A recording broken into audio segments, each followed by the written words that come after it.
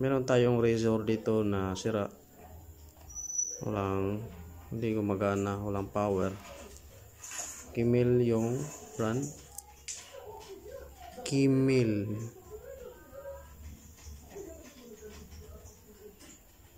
Kimi Kimil. So ito yung ano niya. Ha Kimi So,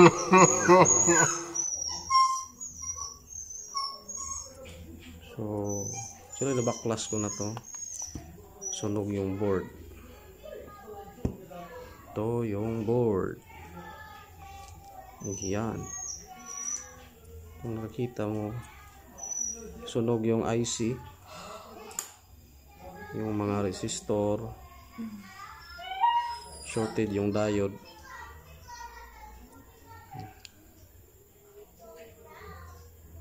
Try natin kung mapapagana ba siya.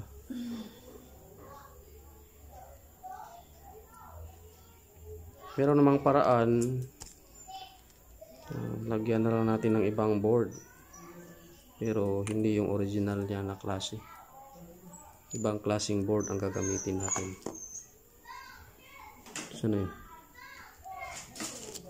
Ito. Ito yung ilalagay natin Ayan. Okay. Try lang natin muna. Tsaka battery. Battery na pwedeng i-charge. Ayan. So, bali mula sa 220 So yung ano na lang. 5 volts na. Pang charger yung charger sa cellphone lang yung gagamitin natin para maging charger na siya. Hindi na tayo gagamit ng 220 direct 220 okay explain ko lang pala tong module na to. Uh, bali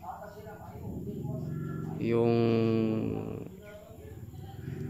in niya yung charger ng cellphone.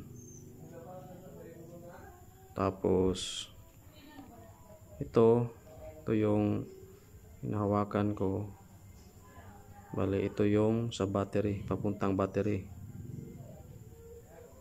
Tapos meron siyang pinaka out dito. Um, makikita. Yan tsaka may trimmer. So pwede siyang ano siya adjustable yung output niya. So from 5 volts hanggang maabot ata to ng mahigit 20 volts.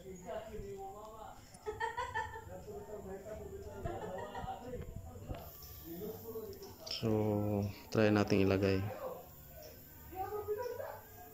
Bali ito uh, ginawan ko na lang siya ng nilagyan ko na siyang ibang switch.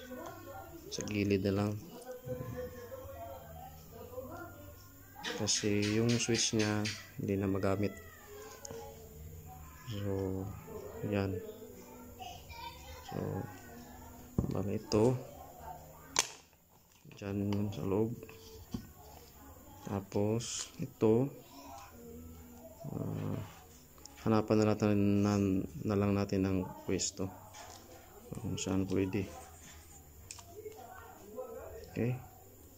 Pero bago yan, try muna nating paganahin. Kung talagang gagana ba. Okay. So guys, ito na yon.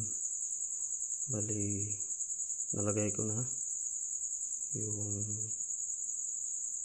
board dito. Tapos, ito na yon. So, pasensya na medyo kalat pa yung mga wire dyan kasi ah, testing lang muna natin kung gagana ba siya. Mula pag start tsaka yung charging niya. So yan. So bali yung dalawa yung ano switch dito. Yung isa papunta doon sa battery kasi kapag walang switch sa battery pag nakadirect siya palaging nag-on tong output niya ito, ito yung output papunta doon sa ah, motor so kapag uh, i-charge mo dapat ay naka-on to Ayan.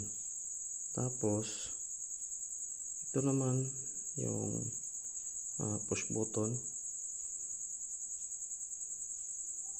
So, try natin.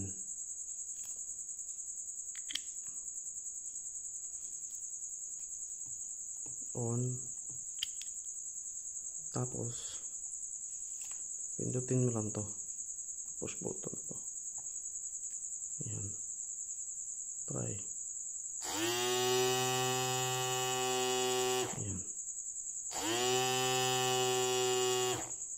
So, gagana naman. Gumagana naman. So, try na lang natin kung tatagal ba to. So, asimbo lang natin muna lahat. Pasensya na, wala kasing ano eh. Wala kasing humahawak ng camera. Kaya hindi ko na ipakita kung paano ikinabit. Pero yun na yun yung tinuro ko kanina. Kung saan yung pwede ilagay yung battery, yung motor. No? So, try natin i-charge. Sandali. Pause ko muna. So, ayan na siya.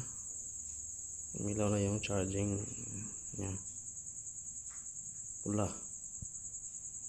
So, ibig sabihin, nagsa-charge na yan. Okay.